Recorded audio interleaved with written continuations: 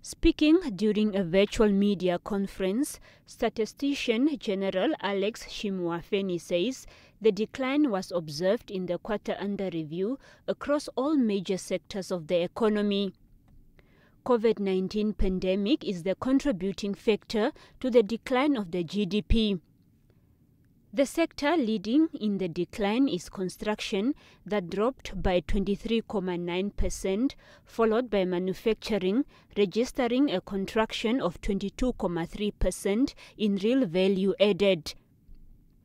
Other sectors such as mining, financial services, hotels and restaurants, transport and storage, and wholesale and retail also recorded a decline.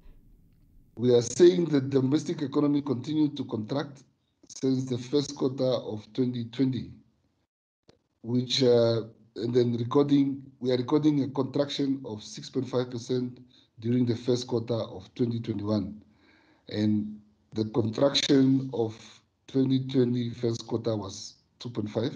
So just to repeat, quarter one of 2021 had a growth, a negative growth of minus 6.5 percent compared to the negative growth of 2.5% of quarter one in 2020. Despite a decline in major sectors, good performance was observed in the information and communication sector.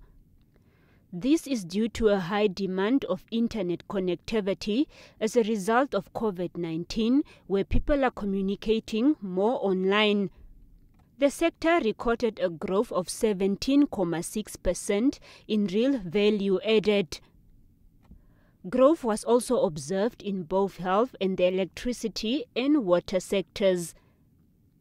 The pandemic prompted a high demand for health workers, growing by 12.8% while electricity and water sectors performed positively with 7.7% following good rainfall during the period under review.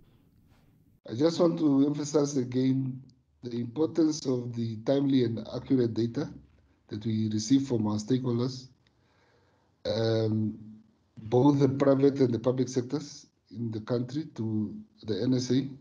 And it's because of those information that we use to compile these statistics. And it's very important also, especially now with COVID, where we need to communicate online instead of visiting your offices to have these interviews or follow ups. We really appreciate that. The Namibia Statistics Agency released statistical information for quarter one of this year on government wage index, producer price index, Agriculture Bulletin, and quarterly GDP. The reports are available on the agency's website. Selima Henok, NBC News, Windhoek.